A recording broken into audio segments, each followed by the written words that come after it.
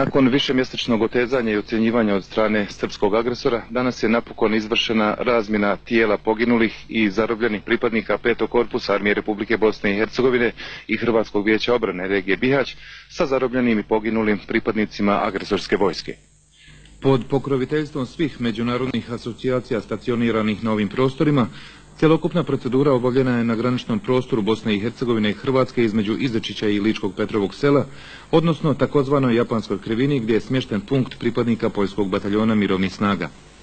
I današnja razmjena počela je sa izvisnim zakašnjenjem zbog kasnijeg dolaska agresorskih predstavnika. Pored njihovih članova komisije za razmjenu, bila je tu i brojna svita naših nekadašnjih sugrađana, a danas velikih propagatora četništva i nasilja. Prvo su razmijenjena tijela poginulih, po tri sa svake strane. Do zaključenja ovog izvještaja identifikacija poginulih nije bila završena, pa nismo ni u mogućnosti objaviti njihova imena. Nakon toga izvršene su sve proceduralne pripreme za razmjenu zarobljenih po 31 sa svake strane. Srpski agresor danas je predao sljedeće pripadnike petog korpusa Armije Republike Bosne i Hercegovine i Hrvatskog vijeća obrane regije Bihać.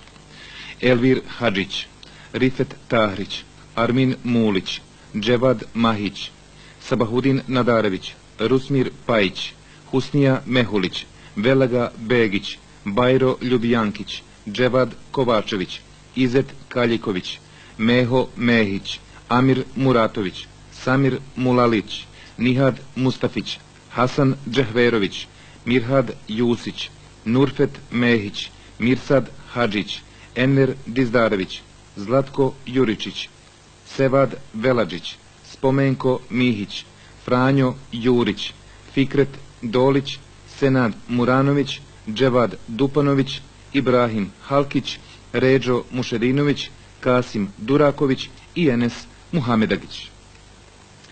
Kada je taj čin počeo, počela je i slika užasa. S jedne strane zarobljeni pripadnici srpske paravojske, prilično dobrog izgleda, a s druge dojučerašnji mladići koji to više nisu omršavjelost, ispaćenost, posljedice fizičkih tortura vidljive na svakom od njih. Elvir Hadžić bio je prvo ranjen i onda zarobljen. Kako je sve proteklo ovo vrijeme? Znam ja i ovi moji drugari kako je. Zovem se Nihić Spomenko. Vi ste pripadnik Hrvatskog vijeća obrane Regi Bihać? Da. Kada ste zarobljeni? 8.11. na Željevi. Kako je bilo u zarobljeništvu? A bilo je teško zahvaljujući komisiji i petom korpusu, evo nas na slobodi. To je za mene sad neopisiv trenutak. Ne znam, to treba da oživi sam. Kako se zoveš? Pajić Rusmir. Kad si zarobljen? 9.11. Prošle godine?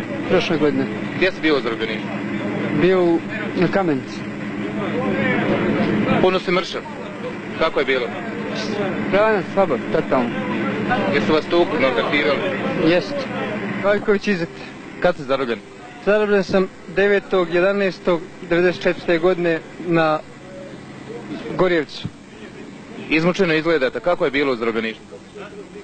To i sami znate kako je bilo, kako je u zarobljeništvu. Da se ne treba pričati. U njihove ruke kao upadne stup. Ima li nekih posljedica na tijelu? Kašljati ne mogu, disati ne mogu, bubrezi bole, glava je razbijena sva od palica, eto znate koliko sati. Tahrić Rifet, Kad ste zarobljeni? 24.11. u Vedrom polju. Kako je bilo u zarobljeništvu? Kao u zarobljeništvu. Znate sami kako je tamo. Vidite kako izgledam, odmah znate kako je. Imao sam 95 kila. Ne znam šta naročito da kažem, to je bila čitava emisija, ali u stvari dobro je. Važno je živa glava i ništa više. Kakav je sad osjećaj dolaziti kući? Čudan, konfuzija, a nemam snage.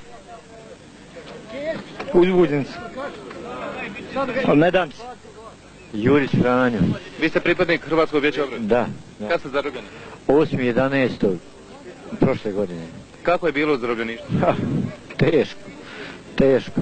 Tučen, ne zuba, nema. Satrao. Ovi zadnji mjesec dana, kad sam prebacio staru gradišku, tu se malo prvi, tu je bilo, mo- moram reći da je bilo koliko toliko ljudski. Kome zahvaliti? Dolazak. Pa, petom korpusu i, i normalno komandi. Velažice vas Kad ste zarobljeni? sedmoga. Kako je bilo u zarobljeništvu? Ah, grozno. Iskreno rečeno grozno. Tako kako meni, tako i ovim mojim kolegama. Je li bilo maltretiranja, fizički zlostavljanja? Pa jeste, ali dosta je podleglo. Sam znaš, čuo si kod Batneva. Kažu i to da im je ishrana bila katastrofalna. Meso ili nešto slatko nisu ni vidjeli ni okusili cijelo vrijeme boravka u zarobljeništvu. Potvrđuje to i današnji susret sa kruhom i hranom koji su im iznijeli mještani Izdačića. Pored fizičkog posebno su maltretirani propagandnim informacijama da je Bihać pao, da se vode ulične borbe u gradu, da se peti korpus raspao i da je pred uništenjem. Nisu vjerovali, znali su da su i to bile laži. Samo čvrsta vjera i nada da će se vratiti davala im je snagu da sve muke i izdrže. Na licima svih njih, kad su napokon došli u svoju sredinu, sreća i neizmjerno zadovoljstvo. Prvi susret s najbližima bio je posebno dirljiv.